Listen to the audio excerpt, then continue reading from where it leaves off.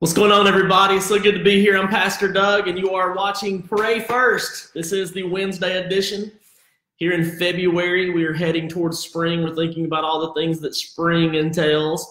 What is your favorite season? If you're joining us and you can hear me already and you're watching, what is your favorite season? Mine is this year, it's going to be spring because I'm sick of cold without snow, and all God's people said, Amen. Morning, Amy Allen. What's happening?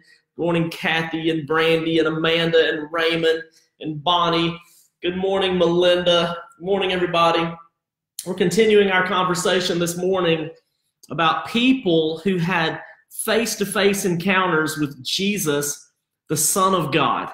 And the story that we're going to read today about this historical account of a particular woman that we do not even know her name describes the character of Jesus and the ministry of the church in amazing ways. Hashtag amazing ways. I'm going to go ahead and share this out. If you would, hashtag live, hashtag recorded. This is a interactive thing that we always do. I'm going to write join us live now on mine and share that out.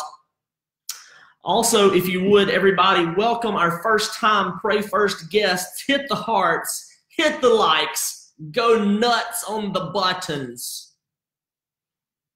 Nuts on the buttons, people.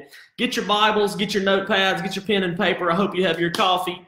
John chapter 8, verses 1 through 11. I recently taught on this particular passage uh, at Crosspoint, and I am excited about talking about it today. We're talking about a lady who was caught in a trap. She can't walk out. Because she loves you too much, baby. Why can't you see what you're doing to me when you don't believe a word I say? All right, so this lady, we can go on together with suspicious minds. Suspicious minds. And we can build our dreams on suspicious minds. All that I love fight. Anyway, this woman was caught in a trap. Let me tell you something about the enemy before I read this passage. The enemy knows what to bait you with. The enemy knows the things that will attract you. And what's so crazy about our enemy the hunter knows his prey. The hunter knows what to use to lure you, uh, to entice you, to, to get your attention. How many of you out there understand that the hunter knows his prey? That Satan goes around like a roaring lion seeking whom he may devour. That when he's looking for you or when he's trying to trap you, he may not use the same trapping or the same bait that he uses for me. How many of you out there know your bait? you don't have to put it out there. You don't have to do any kind of, uh, this isn't confessional. It's not the booth. But how many of you out there know your, your bait, what it is that attracts you that it seems like every time you come up on this, you, you, you go for it. I mean, it's like throw caution to the wind you just go for it, knowing that it's not going to work out well. Well, the enemy knows this lady's bait. She knows that, I mean, he knows, the enemy knows that she needs acceptance, she needs identity, she needs love, she needs uh, compassion, she needs, she needs, she has needs. So the enemy likes to fill those needs. I want to give you a definition for sin this morning uh, that I hope you never forget. And that definition is that sin is a legitimate need filled in an illegitimate way. Let me say that again. Sin is a legitimate need. It's legit. God put a need in you. Sin is filling a legitimate need in an illegitimate way. And so Satan will dress it. Satan will, he, he doesn't lie. You know, Satan deceives. There's a little bit of truth with his lie. So he takes the need that you have, the truth, and he mixes it with a little bit of lie that he can fill it. And he puts that bait in a snare so that he can snare you. John chapter 8, verses 1 through 11. Jesus comes to the Mount of Olives. And early in the morning, he came again to the temple. Jesus at this time is the most respected and revered teacher in the world. Okay? And all the people came to him. When Jesus showed up, it was the celebrity pastor guest appearance, okay, at this time. All the people came to him and he sat down and he taught them.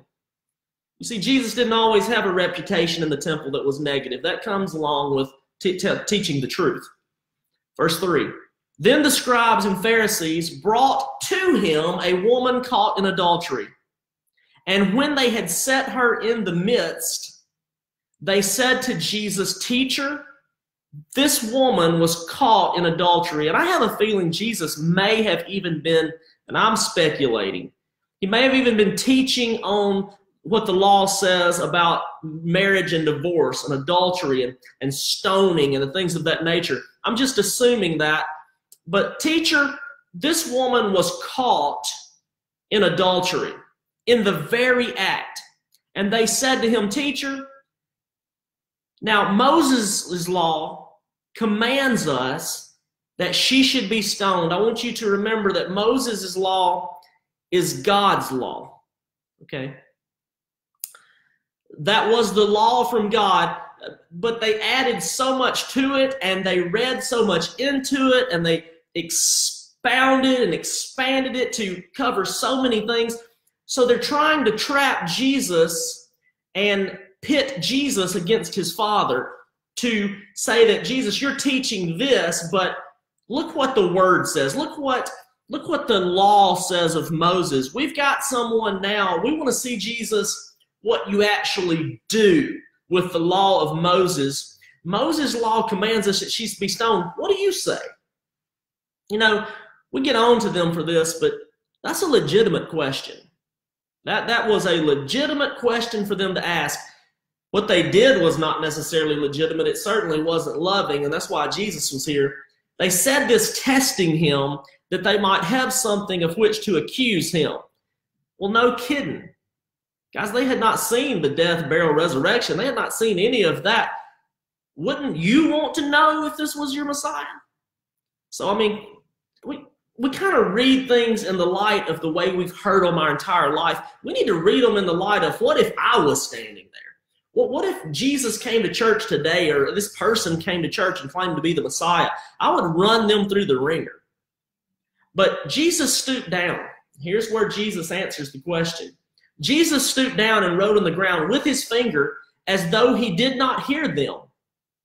So when they continued asking him, he raised up and said to them, He who is without sin among you, let him cast the first stone at her. And again he stooped down and wrote on the ground.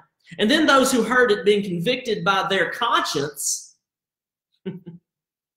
went out one by one, beginning with the oldest, even to the last, and Jesus was left alone, and the woman standing in the midst. And when Jesus has raised himself up from the ground where he was writing, he saw no one but the woman, and he said to the woman, Where are your accusers? I think it's funny how he identifies them as the accusers because Lucifer is often referred to as the accuser of the brethren. Has no one condemned you? And she said, No, Lord. And Jesus says, Neither do I condemn you. Go and sin no more. What an account of a, an interaction between Jesus and this obvious woman living in sin. That's not the question. The question is not whether or not what she was doing was sinful. Yes, it was. The question was not whether or not was she caught. Yes, she was. The question was not whether or not she was a sinner. Yes, she was. But the encounter shows us how Jesus loves sinners. The encounter shows us a contrast between being a follower of Christ and a follower of religion or law.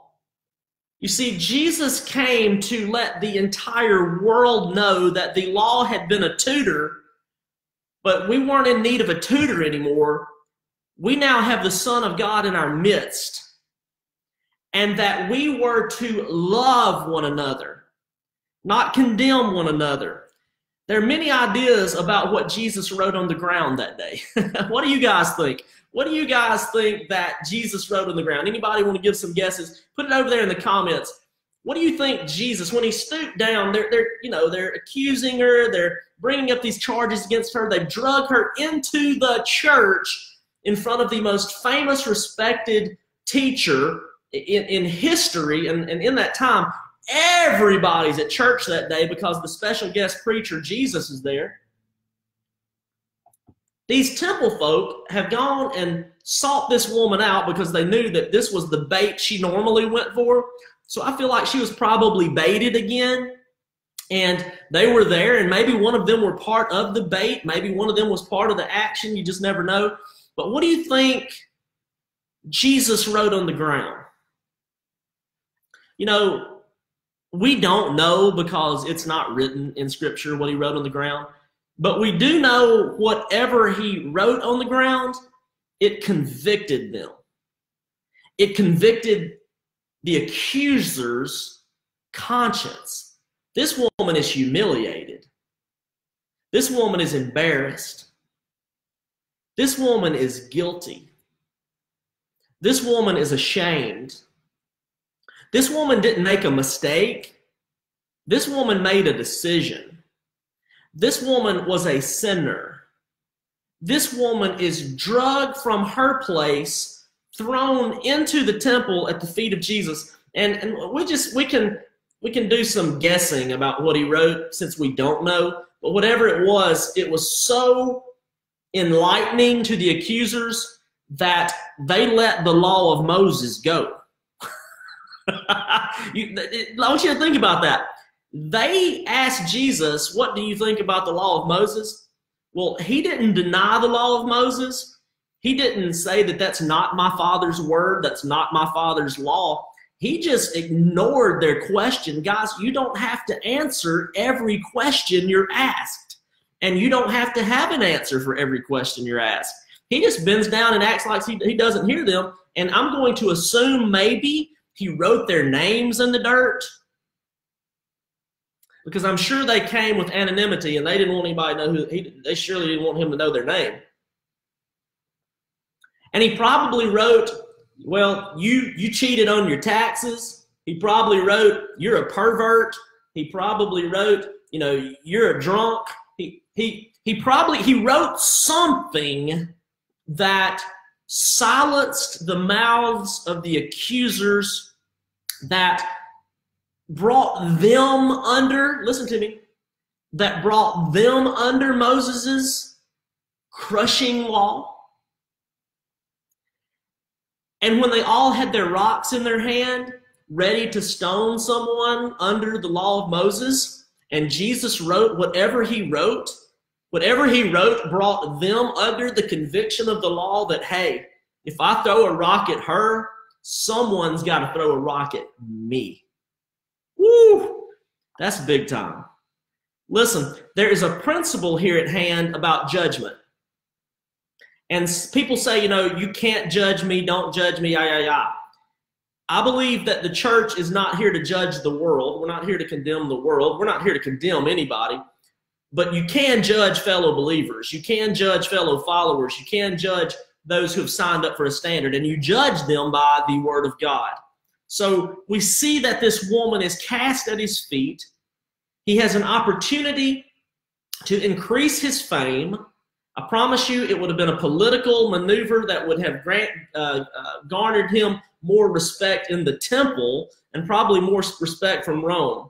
This divine encounter, we look at how she meets the most famous Christian, respected teacher in the world. And Jesus looks at her and says, Lady, where are your accusers? I want to say something to you today. Jesus looks at this woman caught in the very act guilt, shame, fear, condemnation, guilt and says, Don't look at them. Don't look at the high priest. Don't look at the temple guard. Don't look at all the temple lights. Don't look at Moses' law. Don't look at those who drug you here. Don't look at your past. Don't look at your present. Don't look at the trap. Don't look at your shame. Don't look at your guilt. Don't look at your fear. Lady, look at me.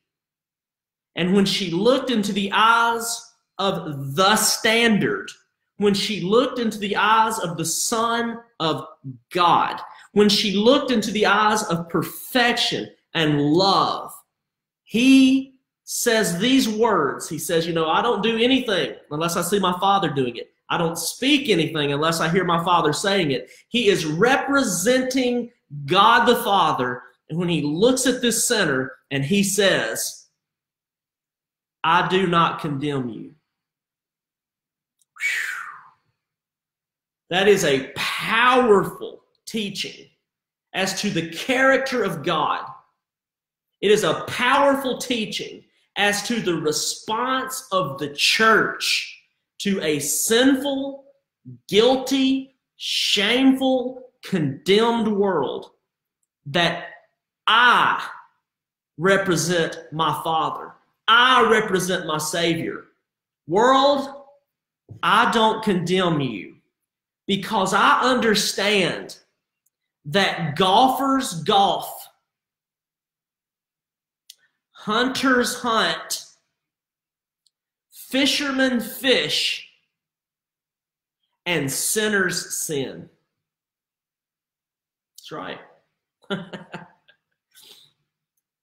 I understand and I am not shocked. I, I, you know, I can't fathom nor can I grasp this church's, the world's church, the, the kingdom church, the church's position I can't grasp the church's position on how we can't believe what the world is doing politically with pro choice or, or pro life. We can't believe what the world is doing. We can't believe that the world is so dark. We can't believe that the world is so detached. Why can't we believe that? I don't understand why we are so. can you believe they said that? can you believe they did that? Jesus never did that. Jesus understood that sinners sin. Here's what I don't understand I don't understand how we are so shocked that the world sins without the Holy Spirit when followers of Christ sin with the Holy Spirit. I mean, huh? I don't understand why we're so shocked that the world sins without the Holy Spirit when you and I, followers of Jesus, sin with the Holy Spirit. He's inside of us. And guys, we live in a broken world, and Jesus says in John 3:16, the brokenness, the messiness, the disturbedness, the darkness drew me to you, for God so loved the messy world that he came and gave his only begotten son. Whosoever believes. And then John 3 17, I did not come, I did not come. I Jesus said, Jesus could not have been more crystal clear. Jesus said, I did not come to the world to condemn the world, but that through me they might be saved. Woman caught in adultery, don't look at your accusers. Don't look at your past. Don't look at your sin you're in right now. I do not condemn you. Grace. And then with equal measure, Jesus says, go and sin no more. Grace and truth. Not more of one than the other, not less of one than the other. Equal measure, Jesus speaks grace and truth. The number one thing we see from this today is Jesus does not condemn. Hashtag number one, Jesus does not condemn. Father, right now, in the name of Jesus, I pray that through the encounter that your scripture has maintained for us through the centuries, that we can get a glimpse into what God the Father would say to a sinner. That through this passage, we can get a glimpse at what God the Father would do to this sinner. Lord, if we want to know what we should do in a situation, that we can look at what Jesus did. That if we want to know what we should say to someone in a situation, we can look to what Jesus said. There is still a lot of self righteousness in us. There is so much pride in us. There, there, there, there are so many stones in our pocket to throw at people who, who sin different than, are different than our own. Father, give us the truth behind grace and truth. Help us to love those who are caught in a trap, like you have loved us, who have been or who are caught in a trap. In Jesus' name. All God's people said, Amen. Hashtag live, hashtag recorded. Quit being so shocked at what the world is doing. Stop throwing rocks at each other. I feel like we're on the playground. Stop throwing rocks, okay? Stop throwing rocks. It is not our rocks that lead people to repentance. It is the goodness of God that leads people to repentance. I love you guys. I'll see you tomorrow. Hashtag live, hashtag recorded, hashtag shared. Get out of here. hey, Chip, I'm praying for Wendy and you today. The PET scan results, also for the second chemo. I'm praying for you. Father, right now, in Jesus' name, let that chemo go well today. Let it not make her sick. Let it accomplish what you want to accomplish and bring healing to her in Jesus' name. Hey, Mike Doddridge, I'm praying for you today, man. Know that you lost your, your father last night. We're praying for you. We love you, Lord. Give them peace that surpasses understanding in Jesus' name. Um, continuing to pray for all of those prayer requests that you gave me. I, I have a list of about 16 prayer requests the other day, and I'm praying for them each day. So if you have a prayer request, drop it in our group page. I love you guys. See y'all later. I really do pray for you. I do think about you beyond this broadcast, and I'll see you tomorrow.